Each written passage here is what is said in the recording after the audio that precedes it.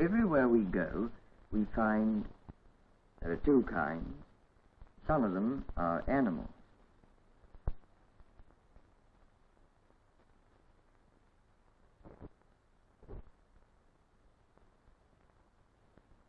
Some are plants.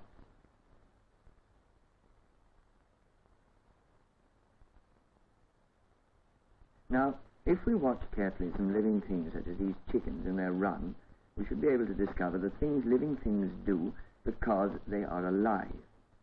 Perhaps the first thing we notice about chickens is that they move. All living things are able to move. They move all or part of themselves of their own accord.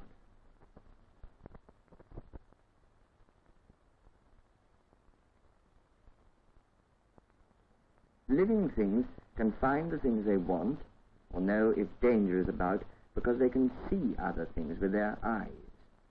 By hearing with ears, or touching, or in other kinds of ways, they know about things going on around them. They are not senseless, they are sensitive.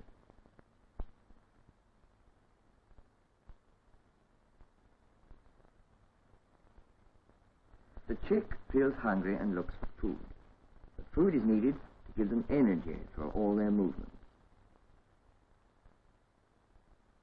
All living things require food materials for energy.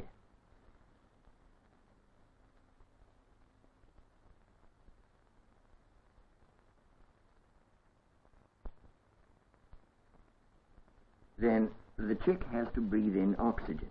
Otherwise it cannot make use of the energy in its food. It takes in oxygen from the air. The oxygen passes into its lungs. Most living things breathe in oxygen to use the energy from their food. But some of the food it eats is not used to get energy. It is changed so that it becomes part of the chick's body, and so the chick gets larger or grows. As it grows, it develops. All living things use some of their food to grow up with.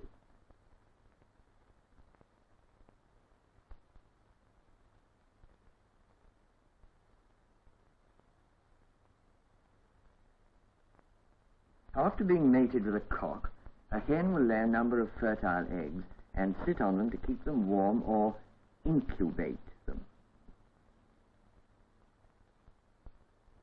Lying on the yolk inside the egg is a tiny patch. This has grown from a cell which was made inside the hen's body. This patch is the beginning of a chick. It feeds on the yolk and grows. After several hours, it develops eyes and a heart and all the other parts of a chick's body. Long before it hatches, it is recognizable as a chick. Now, living things always begin in this way. They start as a tiny piece or cell made inside their parent's body. The making of these cells is known as reproduction. All living things can reproduce themselves.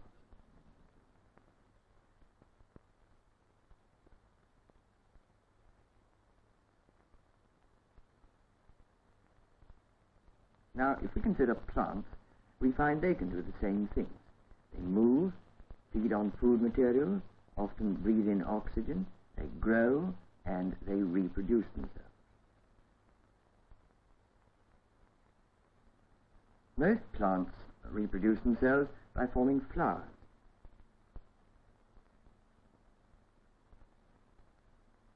Then the flowers wither, having produced seed pods in which seeds The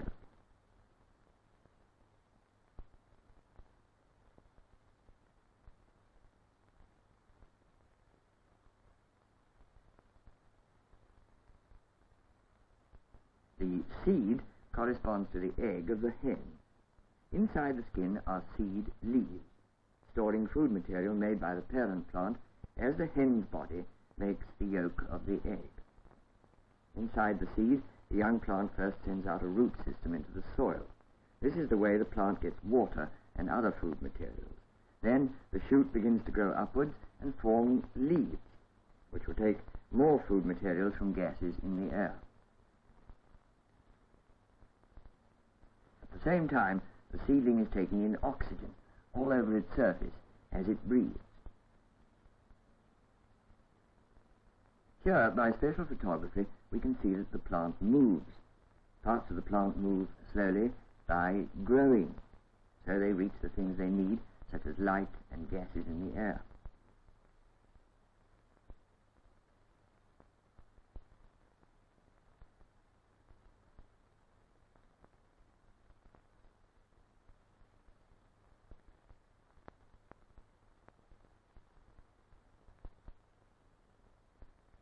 Parts of the plant are sensitive as well.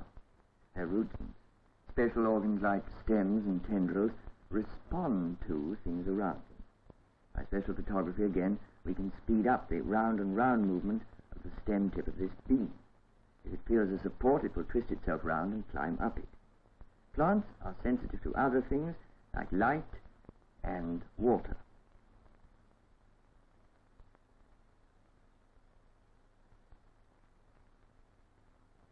We can now compare living things with some non-living things we know, which at first sight seem to be able to do some of the things that living ones can do. For instance, this kite is moving, but it is not flying of its own accord. It is blown by the wind and controlled by the children, and it can't control where or how fast it flies. No non-living thing has senses. They do not know what is going on around them, and so may blunder into danger or destruction and are not able to do anything about it.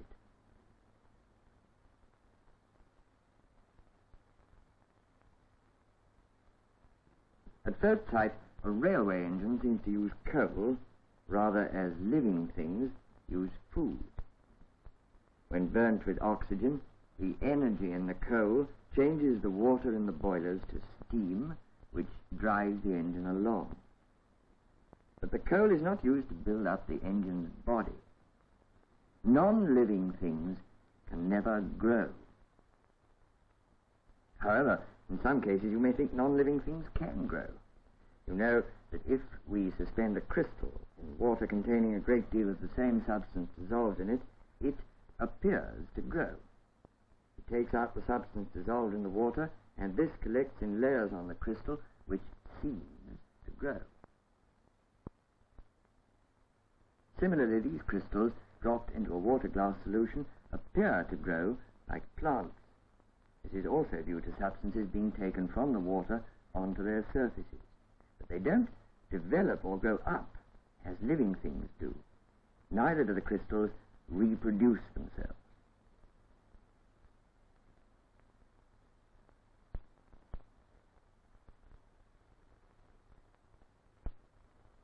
So, in the world around us, there are two main kinds of living things animals and plants. All living things have certain things in common. Firstly, they are able to move, so they obtain the things they need or get away from unpleasant things. Plants move slowly, chiefly by growing. Secondly, living things know about the outside world because they have senses. They can smell, see, hear, or feel so they avoid danger and find the things they need.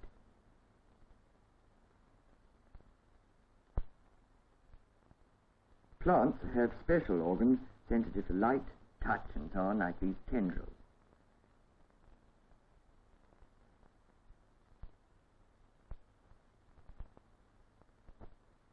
Thirdly, food materials are taken in. Plants take them from the soil and air. Animals need more complicated food materials.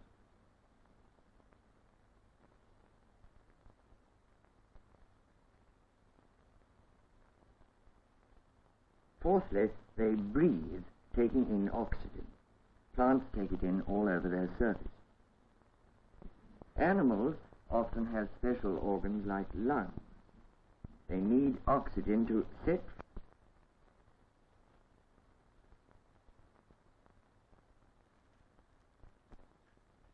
Fifthly, some of the food is changed and becomes built so that the living thing grows bigger. But as it grows bigger, it grows new parts, and so looks different and behaves differently. We say it